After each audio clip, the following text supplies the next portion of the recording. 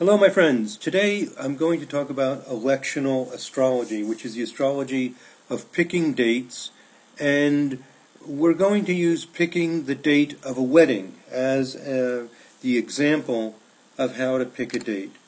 Um, now, here's the situation. An astrologer posted on Facebook that she's going to get married. And she's thinking May or October, possibly up to mid November of 2015 or these are the times that she's considering getting married.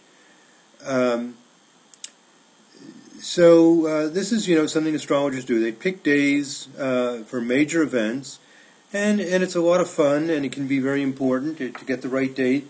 Um, and she asked other astrologers if they had any ideas on the best date. Well, I was thinking about making this video on electional astrology, and I said, perfect. Somebody posted uh, request for the birth information. She posted it.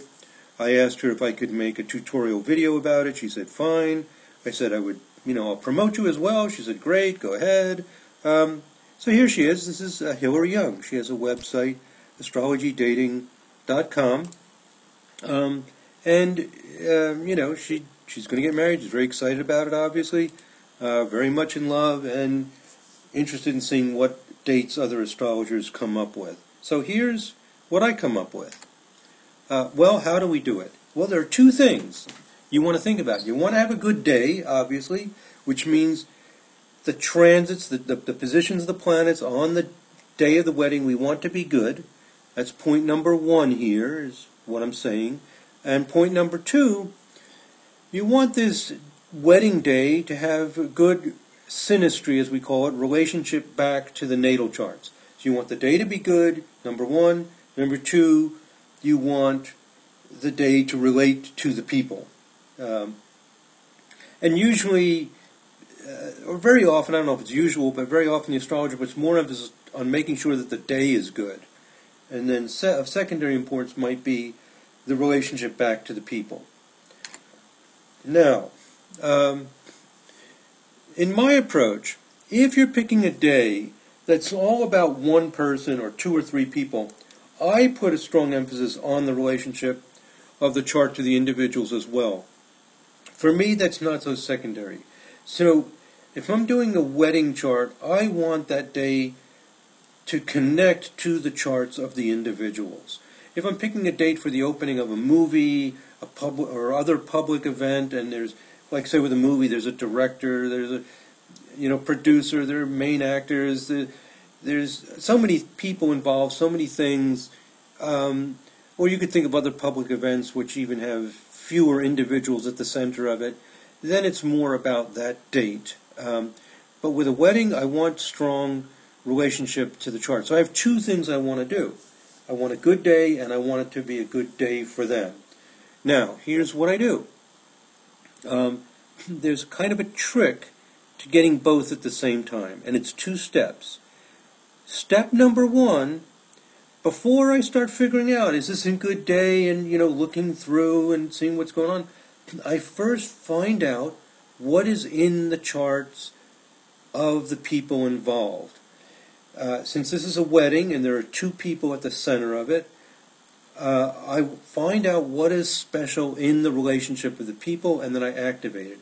If I'm picking a date for one person, and suppose it's a, a date to um, uh, for what? You know, for, for taking an examination to, to pass boards for their profession, or and they want to be at their best. Um, I find out what it is in their chart that's related to the profession, and I activate that. You know, find transits that part of their chart uh, that are positive and enhance and focus on that part of them. Um, so. Uh, and, th- and that makes sense. You know, we always say if you're doing career, you look at transits to the midheaven. Um, but when it comes to electional, sometimes we sort of forget that. So, um, because we're so much focused on this as an event chart. Okay, let me get back to the basics. It's two steps. Find out what's special in the chart and activate it. Believe it or not, this will, or it's not maybe intuitively obvious, this will also give us a good uh, chart as well, and I'll explain why in a minute. All right, so here's what we do. I have six steps. First of all, of course, get the charts into your program, and I've already done that. I'm in the Sirius 1.3 software. Here's Hillary's chart, um, and here's her fiance's chart. So I've got those in the program. Obviously, you need to do that. Step number two, how do we begin? Well, again, before I start looking at transits and all that stuff, I'm going to look at a biwheel. And I'm going to look at a biwheel with an aspect grid and look at major aspects between their charts, and then I'm also going to look at noviles. Another thing I might do in some cases, if I don't see anything really exciting there, is look at the composite chart. But in this case, we will find something. So this is it. If you first analyze the chart, if it's a wedding, I'm going to analyze the synastry of the two people. Uh, okay, so I've, let me go back to Hillary. Uh, just because I tend to focus on the person that I know or contacted me, the client. I don't know why, it's just a habit. So I could start with his chart just as well. Um, but I'll start with hers. Okay, so a biwheel. So we select a biwheel. And we want Hillary in the middle. Uh, it's just my habit. I tend to put the client or the person I know in the middle. I don't know why. It's just a habit. Put the other person on the outside. Uh, and then I've got my bi-wheel selections. And what I want to do is see the aspect grid between them.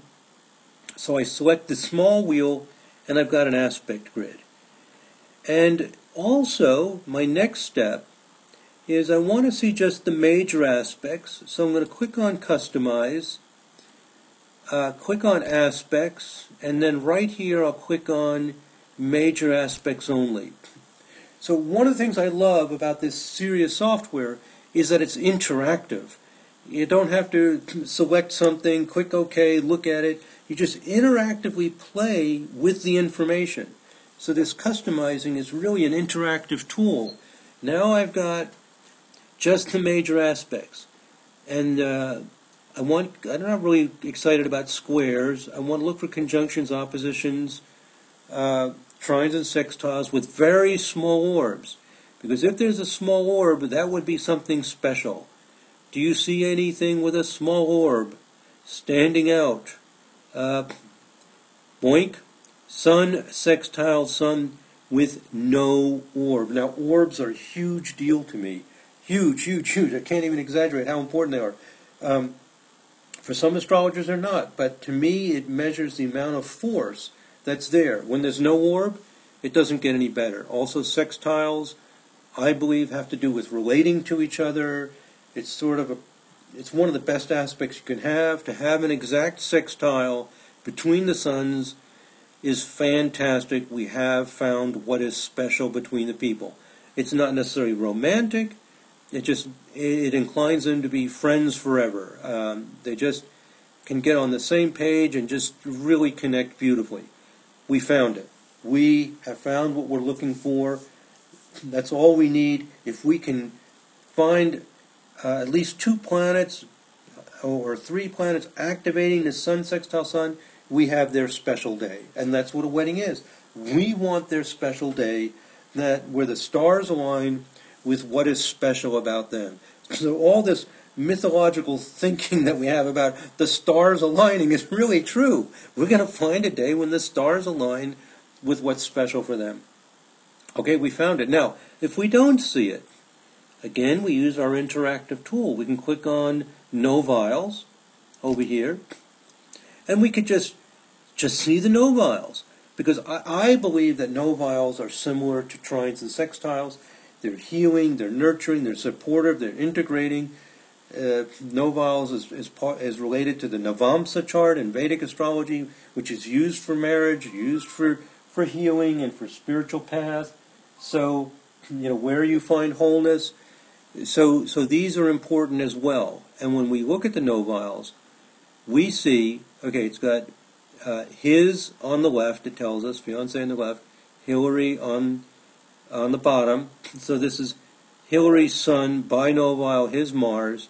So we're getting with the sun, uh, picking up a, um, a binovile with a small orb of about a half a degree, a little over half a degree, um, seems to reinforce the power of this sun-sun.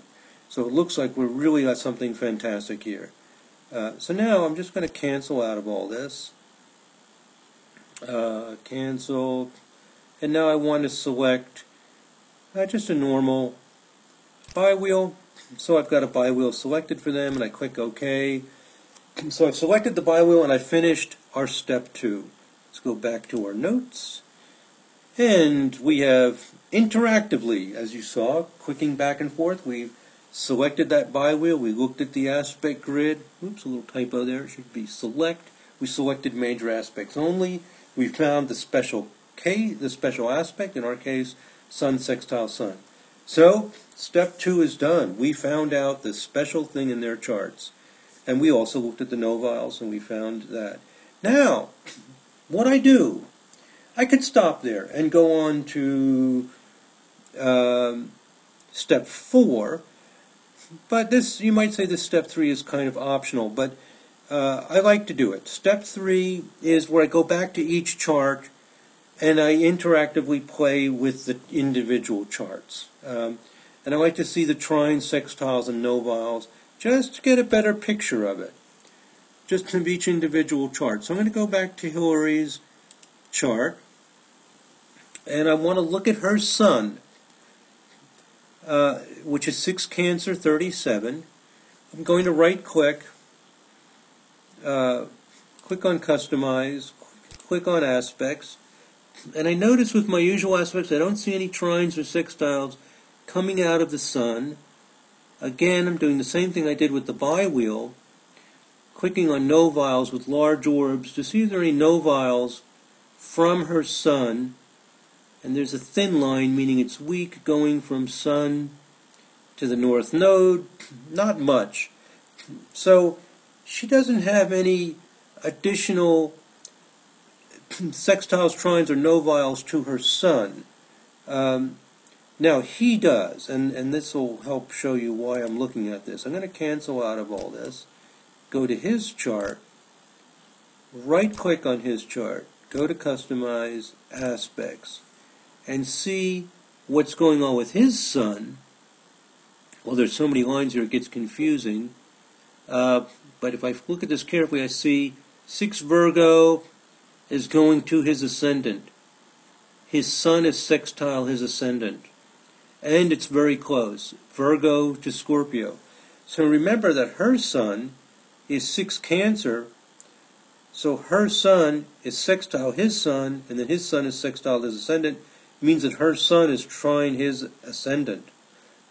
um, we probably missed that when we were looking at the bi-wheel, or maybe you noticed it and I missed it. Um, but this is even better than we thought. Not only is her sun sextile his sun, but it's trine his ascendant. So her sun is tying up with his sun sextile ascendant. And those sextiles are exact. Her sun is 6 Cancer 37, his is 6 Virgo 37.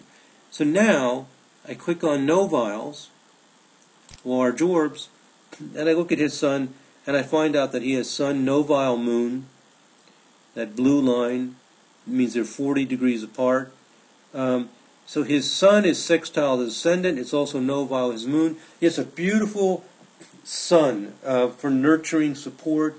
There's a good chance he's involved in a helping profession, community service, you know, possibly teaching or counseling. Um, he's got that kind of personality with this novile. This is um, something that most astrologers don't use, um, but but I do. Uh, in any case, I want to see more detail about this beautiful sun sextile sun. Okay, so I play with that to get some more information. That's an optional step. You don't really need to do that.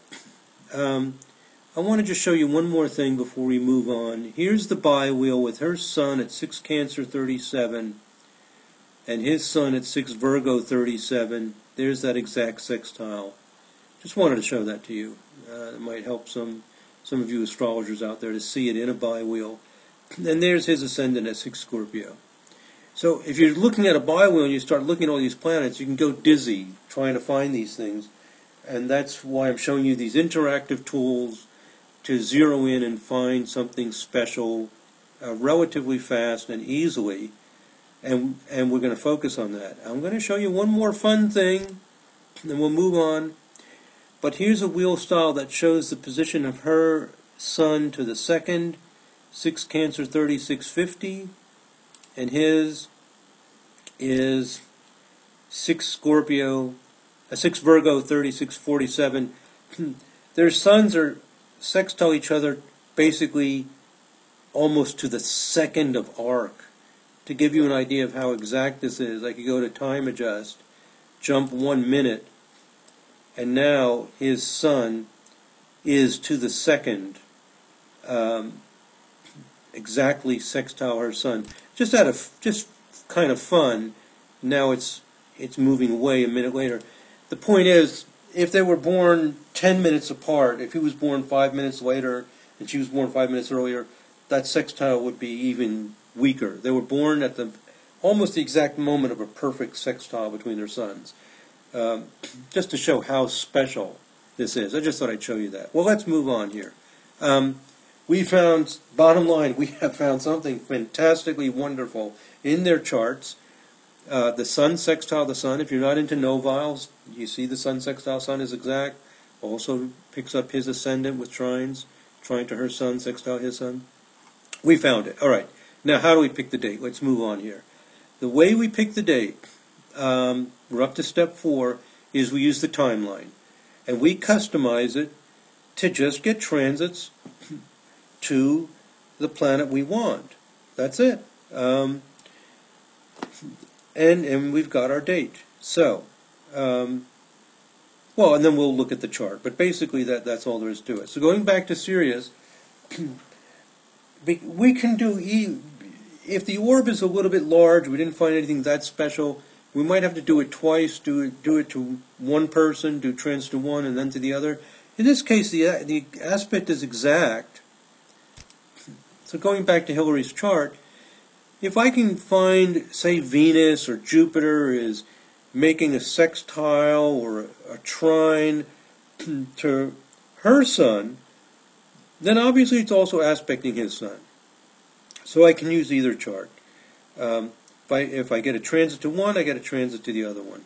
And also if I get two planets transiting aspect to her sun, they're both aspecting his sun and they're aspected to each other. And that's what gives us the beautiful chart because you have the aspect in the transiting chart, also aspected to the natal chart. As soon as you get more than one planet aspecting the natal chart, you're going to have a good event chart as well. well. Let me show you. Go to forecast, timeline format. I do transit to natal. Now, I select this guy here.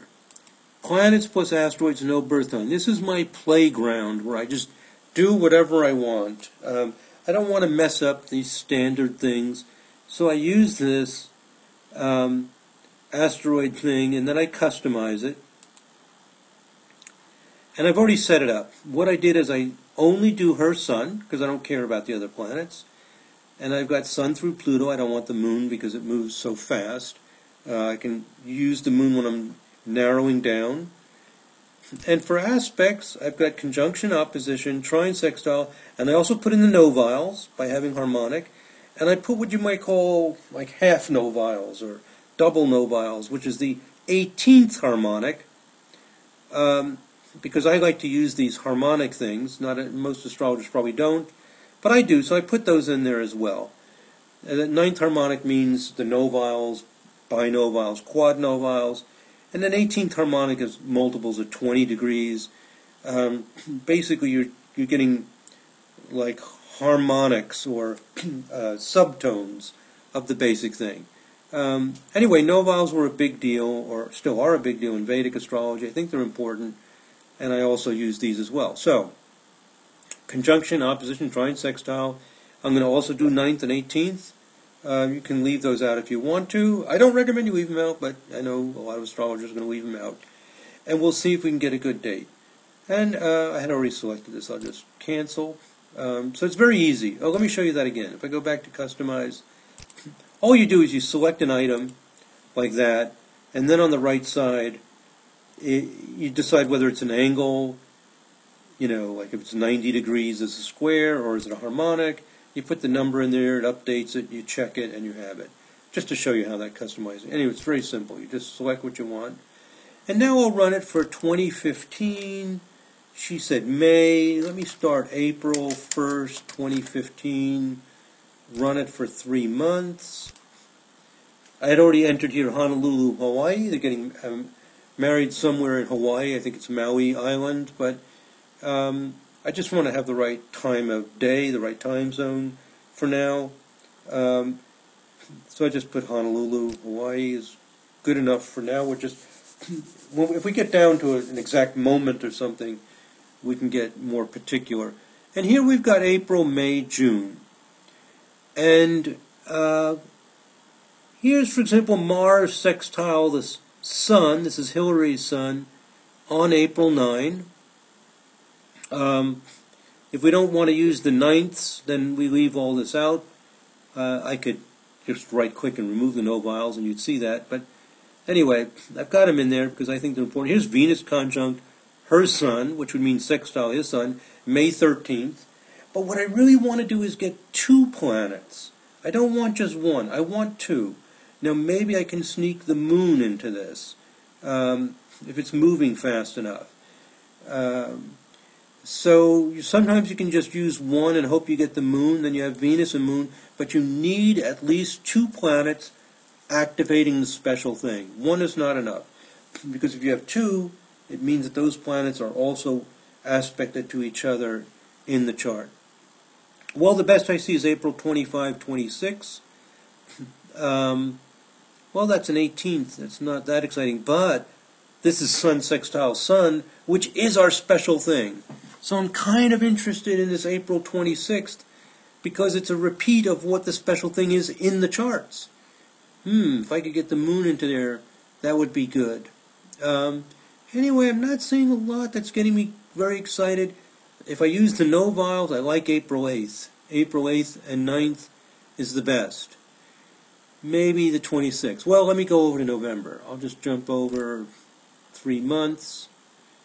I didn't get there another three months. October, well, she's got Neptune is trying her sun, uh, would be aspecting his sun. That's nice. So at least I've got an outer planet, but I have to get into November 5th looks good. If I use noviles, I like November 5th. I think the best date I've seen so far, if I use noviles, is Venus and Mars are two ninths the Sun on November 5th. Now there's one more catch. A lot of people don't get married on a Tuesday, Wednesday, or Thursday. Um, and she said Friday through Sunday. So let's hope these dates fit. So I can go into the calendar feature uh, of Sirius. Um, here it is, calendar. And I can click on this fast ways. Click on the year, and it lets me just jump to another year. You can just use any calendar. I mean, there's calendars all over the place. Calendars that come with Windows and Macs and everything. Anyway, use this one, and now I'll go over to April. We said April 8th. Uh-oh, Wednesday. No good.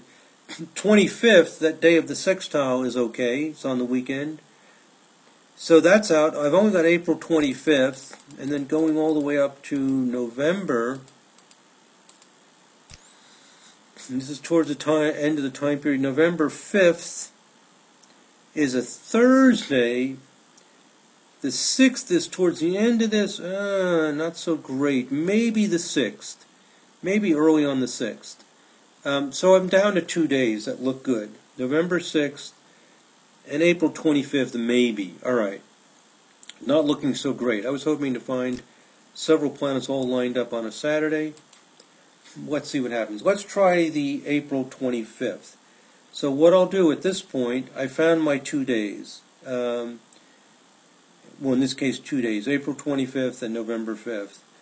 Um, or November 6th, I guess I have to go to to get to, to a Friday. Um, so in our notes here, uh, I make a note that we found April 8th and 25th. We also found November 6th but April 8th is a Wednesday. Well, April 25th is only one aspect, but let's give it a try. Let's go ahead and try April 25th. Maybe it's better than we thought. Maybe we can get the moon involved. So far, I'm not so excited about it, but I'm going to add a chart for, for the event, for the possible date, April 25th. So that's the next thing we do. Oh, I'll just call it wedding day. Wedding. Wedding day. April 25th, 2015.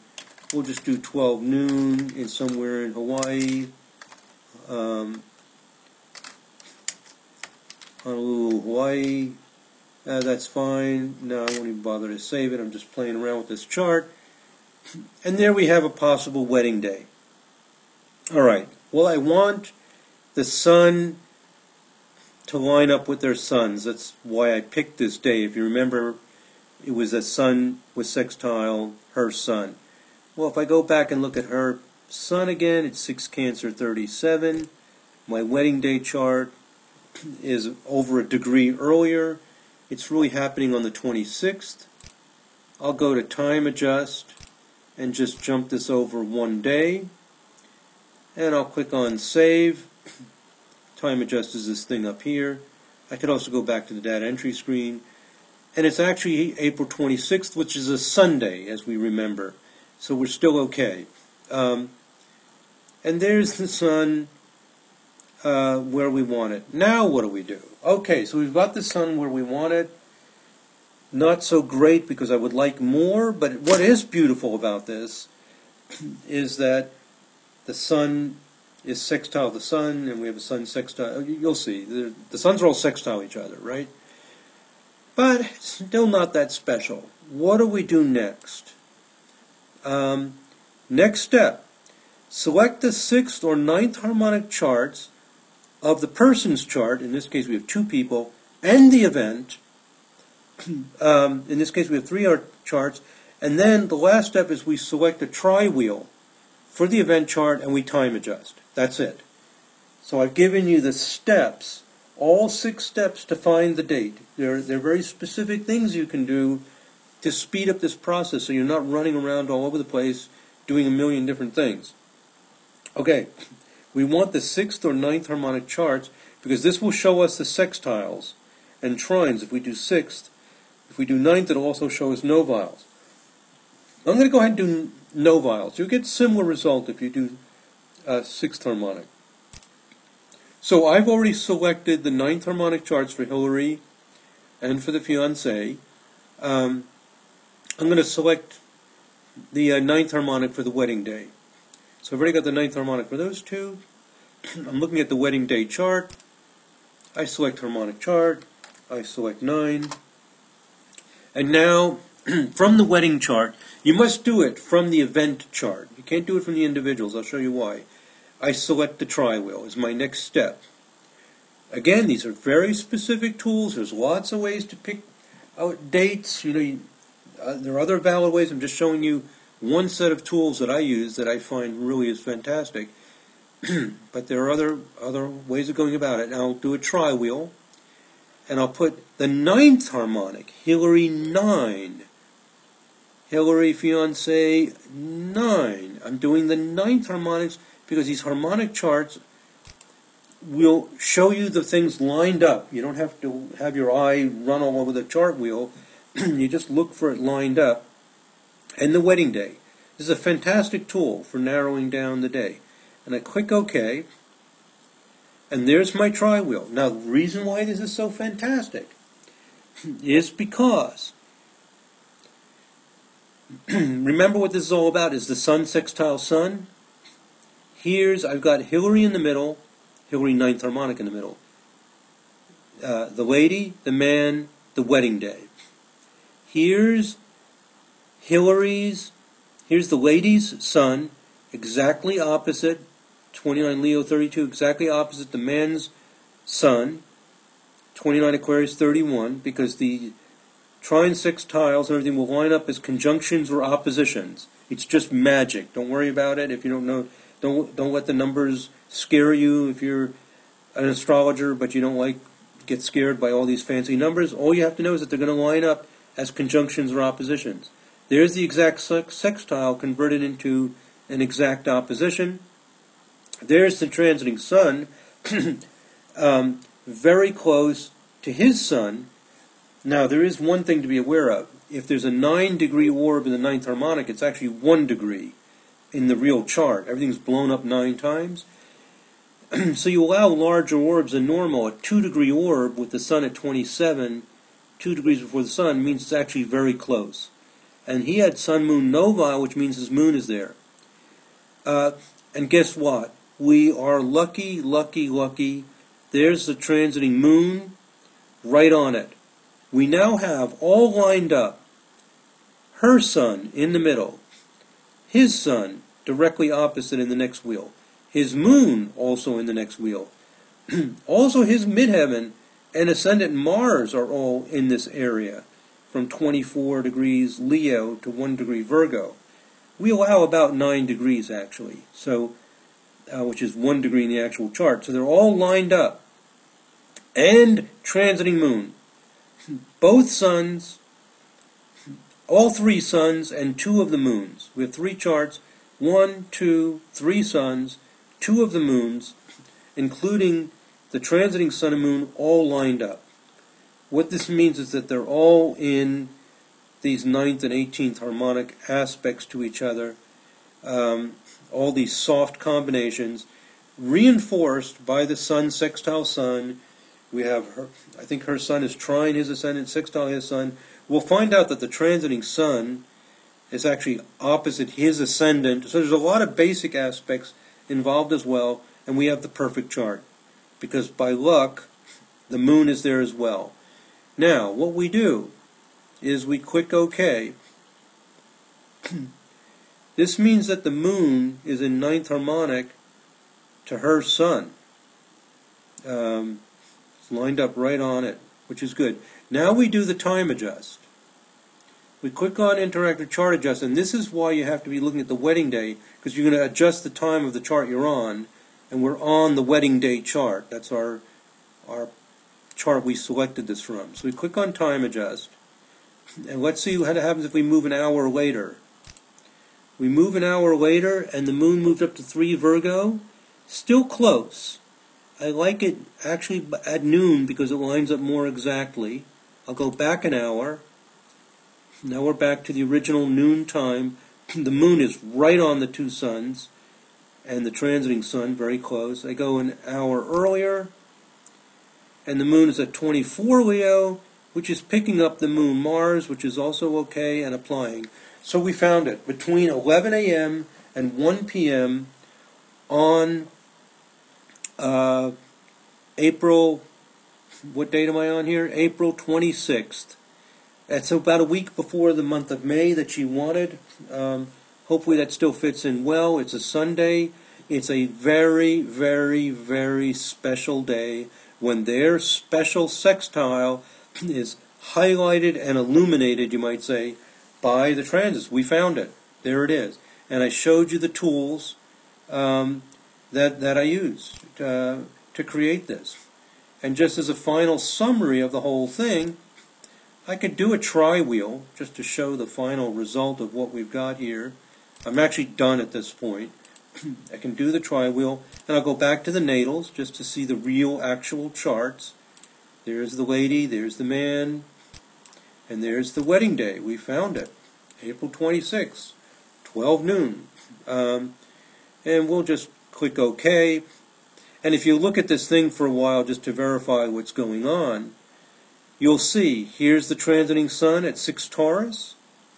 Um, he is in the middle. there's his sun and his ascendant. So there's transiting sun on his seventh house cusp, 6 Taurus, 6 Virgo, 6 Scorpio. Um, so the transiting sun, sextile her sun, sextile his sun, sextile his ascendant, um, means you've got trines and sextiles going all over the place between the suns and the ascendants. Um, uh, you, you, know, you might want to say, well, where's Venus? You know, get some Venus into this. Uh, well, Venus at 17 Gemini, um, you know, if you look around for a while, you'll notice that it's sextile the transiting moon uh, with a degree orb, and that Venus was one of the things we saw in the timeline that was tying up. So when you get a lot of these things all tied up together in noviles and sextiles, Some of them will reduce down to basic aspects. And we've got a nice little sextile there. Applying, it'll get stronger through the day, which is nice. Um, so anyway, it's a, it's a very, very special day. And one more thing, if you're into the harmonic stuff, this is really wild. Here's this sun at 6 Cancer. We had 20 degrees. 20 degrees is half of a novile, a third of a sextile. Anyway, you had 20 degrees, you get a moon at 26 Cancer. You had 20 degrees, you get, uh, would you get 16 Leo, which is transiting moon. At 20 degrees, you get 6 Virgo, which is his sun. You had um, 20 degrees, you get his Mars. I mean, it's you keep adding 20 degrees all the way around. It's part of the the beauty of this if you're into the harmonic level. And if you're not into the harmonic level, you've got all these beautiful trines and sextiles, transiting sun opposite his ascendant. We found the great day. There it is. Uh, now, I don't know if Hillary will use this or not, but anyway, is, I did this more as uh, just a demonstration of how to pick days. And we're done. That's it. We did it. Now, I'll say one last thing, and I'm done. Uh, let me go back to our notes.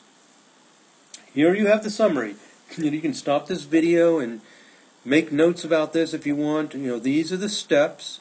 Uh, different astrologers do things in different ways. This is just, you know, astrology is more of an art than a science at this point, and I'm just showing you, you know, one artist. This is how one artist goes about it.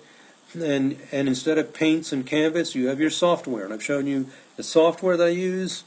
The software becomes an integral part of, of how you function the interactive use, the way you bring things up. Um, one set of tools, you know, just one artist, you know, at his canvas and the way way I go about it. Last final note, and and I'm finally done. Uh, one thing that a lot of astrologers will get concerned about is the bad things. If we look at this for a while, you're going to notice that transiting Neptune is opposite his Venus. And some astrologers are going to say transiting Neptune opposite his Venus. David doesn't know what he's talking about. He's going to the the man um, is under illusion. This marriage could dissolve. Neptune loses structure. You want nice Saturn sextiles. It's bad chart, terrible. I don't care about all that sun special stuff. It's terrible. Also, transiting Venus is square her Uranus, and they might say it's a square you don't want squares, Venus Uranus, disruption, overnight, he's under illusion, she's getting upset. This marriage lasts a week and it's all over, and they'll say it's a terrible day.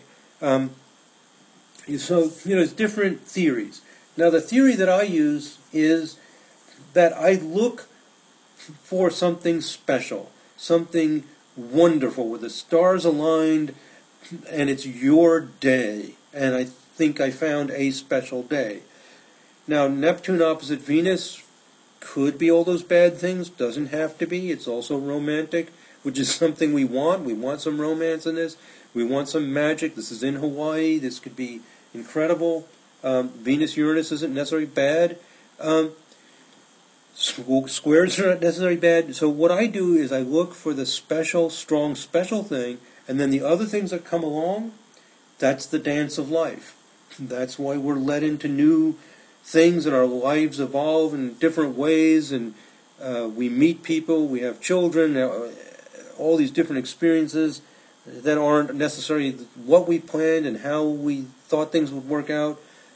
Um, it's an adventure, and and this is part of the adventure that that develops, um, and the strength of the good aspects will help you channel those well. But there's no such thing as a perfect day, and without some pizzazz and zip, and you're just looking for everything to be lukewarm and nothing to disrupt it. It, it I just go for the special day, and and the people have to be strong and and and, and uh, handle it and move forward. I think that's what life's about. So anyway, different philosophies, different ideas, but if you're the kind of astrologer who just doesn't want those things, you know, I respect that. There are different points of view. I don't think we have any perfect data to prove who's right or wrong at this point. Um, so you know, th- those are other considerations. So I've shown you how I've done, how I do it, and what I think is important. I would, you know, advise the clients on if they want detailed information on some of the things that are brought into this, and that they should be aware of. Um, but that's how I do it. Find the special day, and then whatever else comes along comes along. I actually am am not afraid of the Neptune Venus personally, or the Venus Uranus. I'm kind of happy that it's there to some extent um, because it adds some magic and romance to this. And I started out with the suns, which is not. So it, it doesn't concern me. There are always going to be things like that that um, give the opportunity for growth, development, and and real excitement and and uh, moving forward in your life. Okay, you got the idea. I'm at 40 minutes. This is a long video. I've talked long enough. I hope you learned a lot. Uh, you could watch that again if you need to and see the exact steps if you if you want to really get good at this that I go through to pick a date. So it's a long video. I'm talking a lot, but in less than an hour, you got a picture of how to go about to pick a date. I use the wedding as an example. Hope you enjoyed it. Hope you got a lot out of it. Take care. God bless. Namaste.